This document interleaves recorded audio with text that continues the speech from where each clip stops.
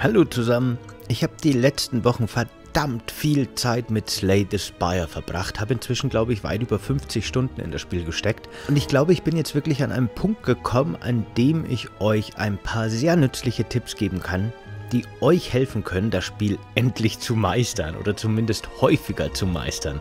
Immer würde es natürlich nie klappen, darauf ist das Spiel auch gar nicht ausgelegt, aber mit diesen Tipps klappt es bestimmt wesentlich öfter. Der erste Tipp ist im Grunde auch gleich der wichtigste und zentrale und das muss man lernen, da muss man sich dran gewöhnen. Haltet euer Deck sauber und klein. Ich weiß, es ist nicht sehr intuitiv, aber es ist oft besser, auf seine Belohnung zu verzichten, statt unnötig Karten in sein Deck zu laden, die man sowieso nicht braucht. Je mehr Karten ihr in eurem Deck habt, desto geringer wird die Wahrscheinlichkeit, dass ihr die Karten zieht, die ihr gerade brauchen könnt oder die gut sind. Müllt sie deswegen nicht mit irgendwelchen Karten zu, nur weil sie euch irgendwie sinnvoll erscheinen. Ich weiß, die ganzen Karten und Relikte beim Händler sind verlockend, aber oft ist es die bessere Entscheidung, den Remove Card Service zu benutzen.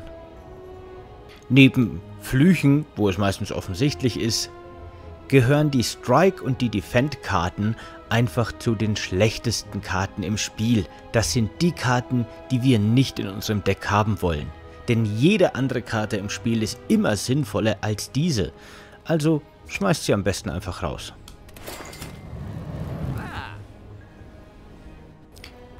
Auch Karten, die kein Mana verbrauchen, sollten nicht ohne weiteres ins Deck mit aufgenommen werden.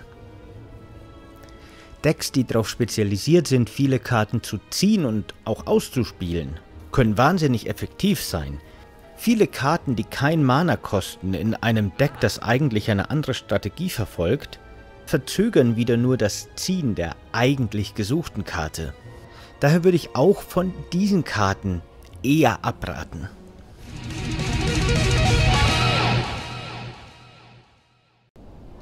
Synergie ist mit Abstand das Wichtigste in diesem Spiel, wie eigentlich auch in den meisten anderen Card-Deck-Building-Spielen.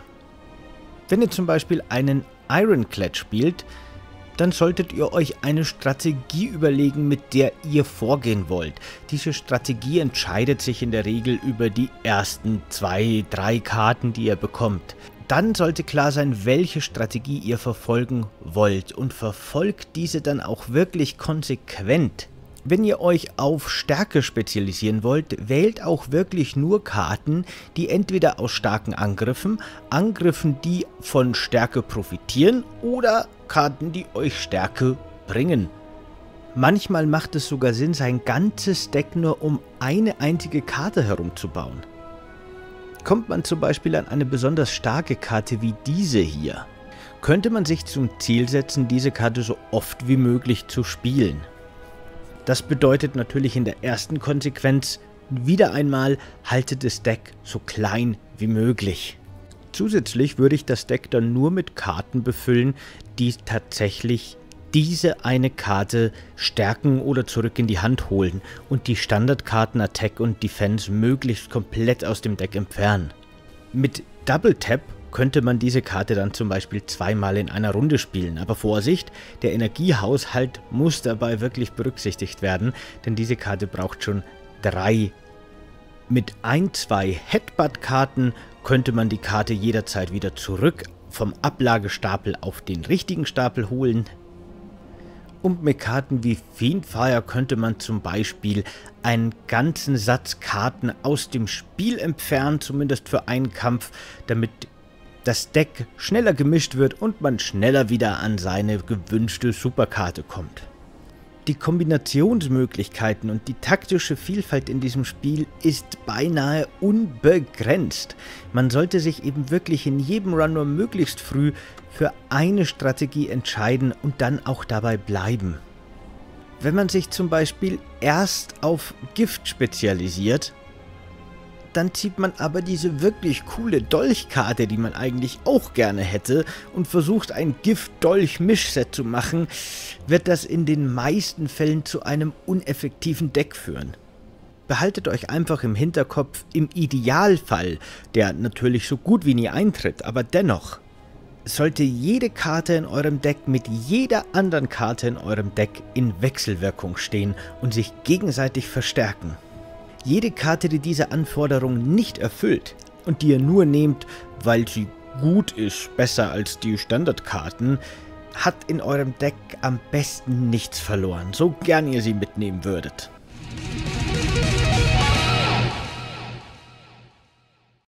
Oft macht es Sinn, sich im Vorfeld genau zu überlegen, welchen Weg man denn gehen will.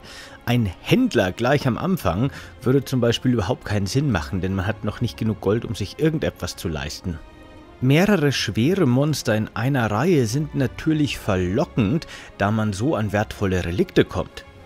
Allerdings muss man sich auch darüber im Klaren sein, dass es ziemlich hart werden kann, diese Gegner zu besiegen und dann muss man womöglich noch weitere Hürden überwinden, bevor man die nächste Heilmöglichkeit hat.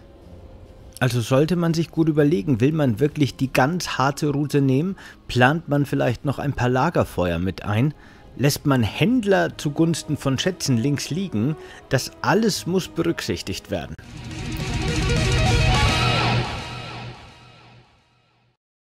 Blockt Schaden.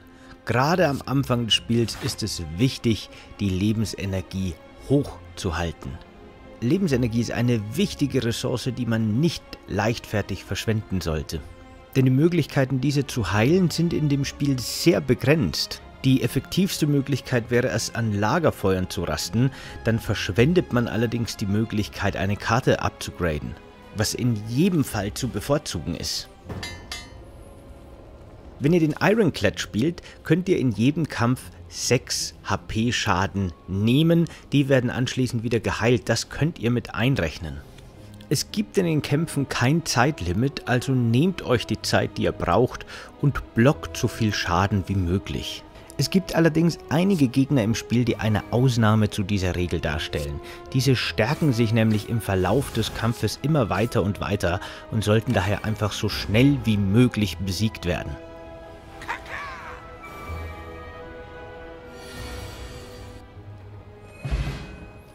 Jeder Kampf, aus dem ihr nicht mit voller Lebensenergie herauskommt, verringert die Wahrscheinlichkeit, dass euer Run erfolgreich endet.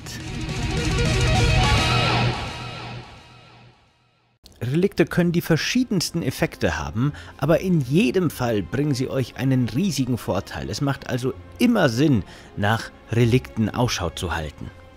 Achtet aber dabei auch genau auf die Effekte der Artefakte, denn Oft macht es Sinn, seinen Spielstil oder seine Strategie in einem Run an gewisse Artefakte anzupassen. Erhält man zum Beispiel früh im Spiel die Voodoo Doll, kann das den Spielverlauf und die passende Strategie komplett verändern. Mit diesem Artefakt erhält man für jeden Fluch, den man aufsammelt, eine Stärke. Man könnte sich nun also zum Ziel machen, so viel Flüche wie möglich zu sammeln und dementsprechend sollte man auch sein Deck darauf anpassen, dass diese Flüche einem im eigentlichen Kampf nicht zu sehr auf die Nerven gehen. Das heißt, viele Karten, die Flüche entfernen oder vielleicht sogar welche, die von Flüchen profitieren. Hat man dann noch Artefakte, die beispielsweise Schaden beim Gegner verursachen, jedes Mal, wenn man eine Karte ablegt, könnte man sich darauf spezialisieren, möglichst viele Flüche in sein Deck zu bekommen? Um diese dann mit anderen Karten möglichst von seiner Hand zu entfernen, woraufhin dann möglichst viel Schaden verursacht wird. Oft gibt es dann auch Artefakte, die von den gleichen Bedingungen profitieren. Hier zum Beispiel würdet ihr nochmal zusätzlich 6 maximale HP für jeden Curse in eurem Deck bekommen. Dann gibt es wiederum Artefakte, die eurer aktuellen Strategie entgegenwirken könnten. Wollt ihr euch also auf Flüche spezialisieren, solltet ihr kein Artefakt aufnehmen, das Flüche von eurem Deck fernhält. Ihr seht schon, es ist komplex, aber genau das ist auch der große Spaß, den ich und den viele aus diesem Spiel ziehen können, denn ihr müsst euch den Gegebenheiten anpassen. Jeder Run ist anders, jede Karte, die ihr bekommt, kann euer Spiel komplett verändern. Die wahre Herausforderung liegt darin, sich anzupassen die Karten zu kennen und sich gleich zu überlegen, wohin will ich gehen, welche Karten machen in meinem Deck Sinn und welche lasse ich vielleicht lieber da, wo sie herkommen.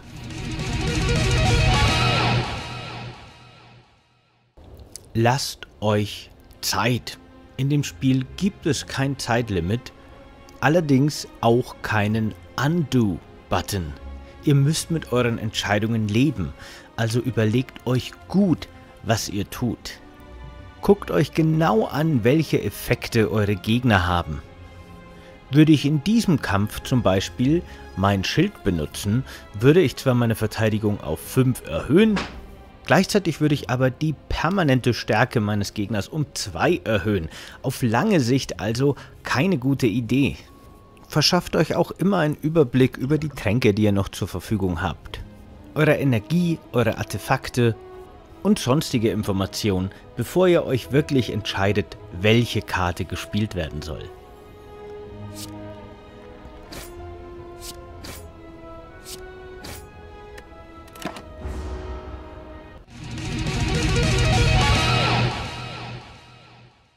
Und zu guter Letzt vielleicht noch ein Tipp für alle Eltern.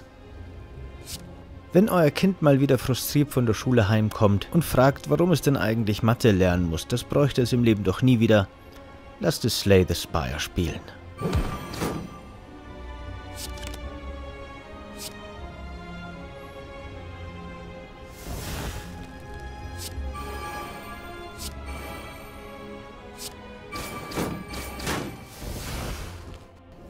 So, mit diesen genannten Tipps kann eigentlich fast nichts mehr schiefgehen. Also, ihr werdet trotzdem noch ständig sterben, aber das ist Teil des Spiels. Aber wenn ihr euch diese Tipps zu Herzen nehmt, dann ist es zumindest wesentlich wahrscheinlicher, dass ihr das Spiel erfolgreich beendet. Und damit wünsche ich euch jetzt noch viel Spaß beim Rumexperimentieren. Wenn euch das Video gefallen hat, vergesst bitte nicht zu liken und abonniert den Kanal, wenn ihr es noch nicht getan habt. Macht's gut, bis bald. Ciao.